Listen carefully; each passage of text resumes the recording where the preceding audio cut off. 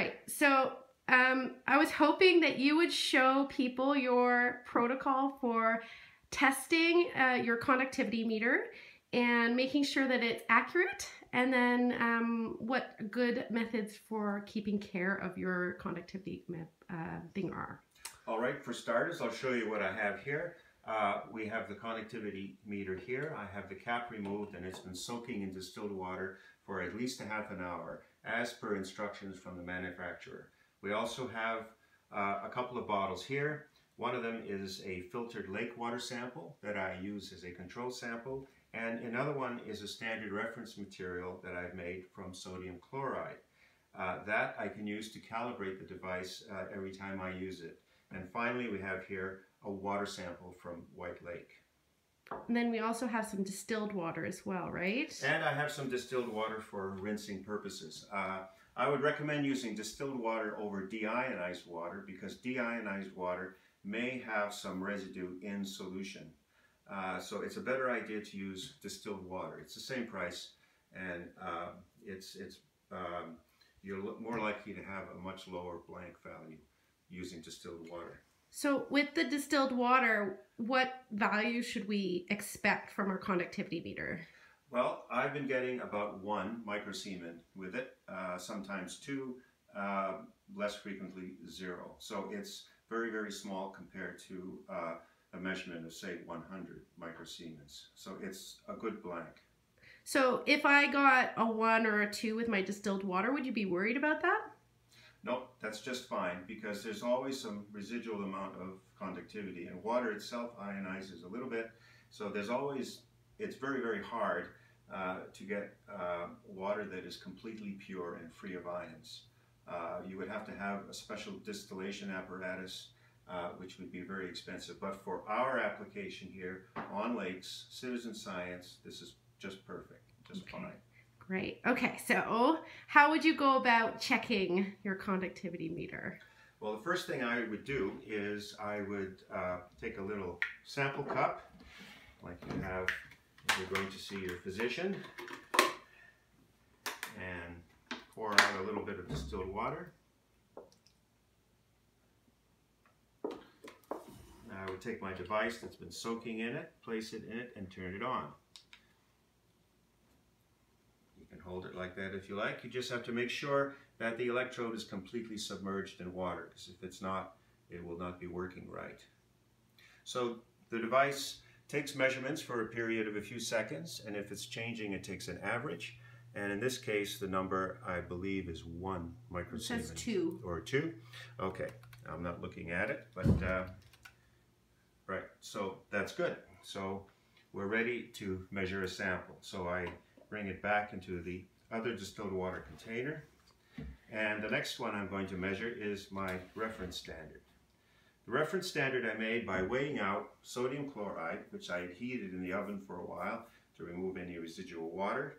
I weighed out a certain amount, 10, 10 grams of sodium chloride, and then I dissolved it in a liter of water and then I did some serial dilution to bring it down to a concentration of about 100 parts per million NaCl. So I would take a sample of this.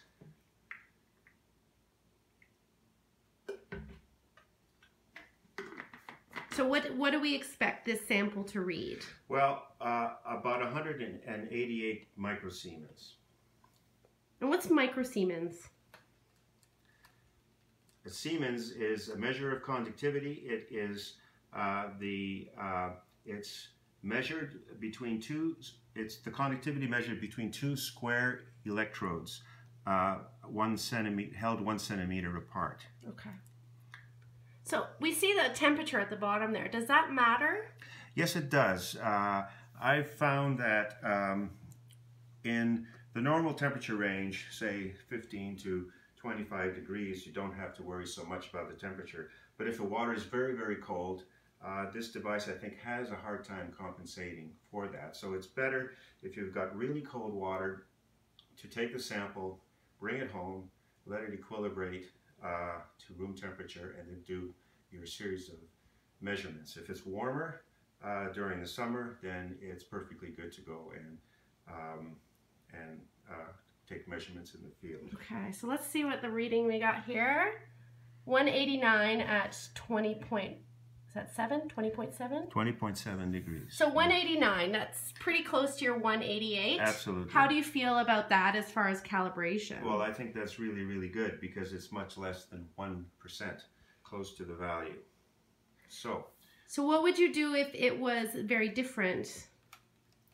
Well, if it was very different, I would take note of it and uh, make a correction against the values that I measured. Say it was off by 15% uh, highs, for example, I would take my measurements and I would reduce them by that. Okay. Um, now, we're only doing a single point calibration curve. Strictly speaking, you should be doing a number of points across a fairly wide concentration range.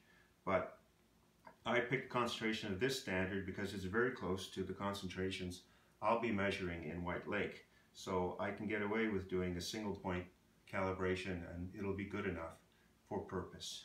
Yeah, and this is this is what we're, we're suggesting with the Water Rangers um, calibration as well. And this the the calibration solution is similar to what Conrad has here, um, so that you will do a single point calibration and uh, we we will give uh, how to calibrate the machine in another video.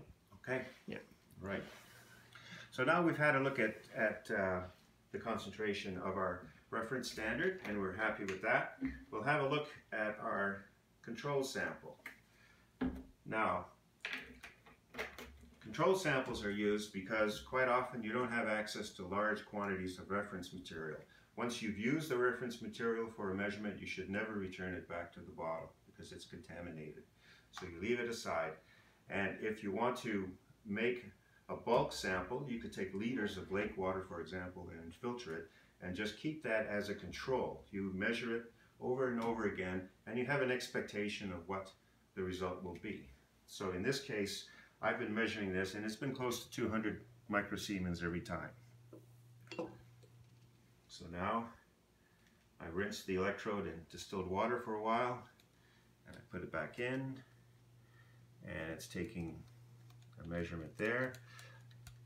I stir it a little bit to make sure that there's no residual distilled water left close to the electrode. So now I'm measuring the sample. 200.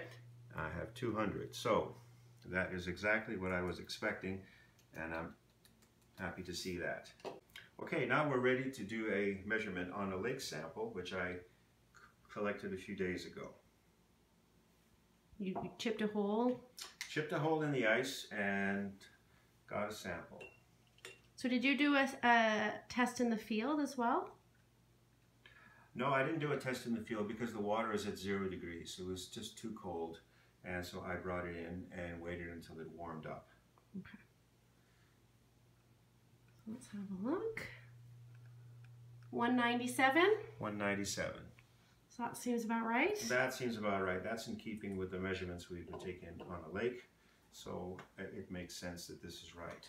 So if you're doing a large number of samples, what I would recommend is between samples to rinse the uh, electrodes in distilled water and then do a number of samples. And every now and again, every 10 say, do one of your control samples to make sure that it comes out right because you can always replenish this, make a new control, and measure a number of values so you know what to expect. So you know that if you have a high value, you go back to your control samples, it gives you the right number. You have more confidence that the measured value in your sample is correct. Cool. And do you have any sort of final advice for people about why conductivity is an interesting parameter for them to be testing on their lake or river?